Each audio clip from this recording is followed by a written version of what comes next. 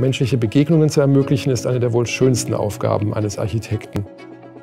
Im Headquarter von Heidelberg Zement wurde daher das Atrium als Knotenpunkt solcher Begegnungen konzipiert. Es wird von einer komplexen Baumstruktur getragen, die durch das maßangefertigte Leuchtensystem vervollständigt wird. Ein modernes Bürogebäude muss ja heute viel mehr sein als ein effizientes Anordnen von Arbeitsplätzen.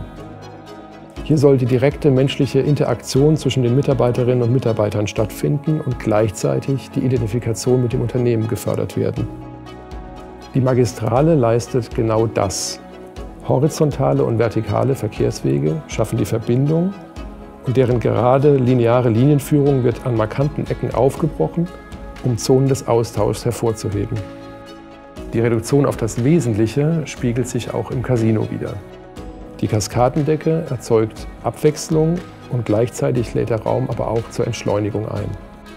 Unser Fokus bei diesem Projekt lag auf dem direkten Austausch von Menschen. Architektur und Licht wirken hier gemeinsam als zurückhaltende, verbindende Elemente.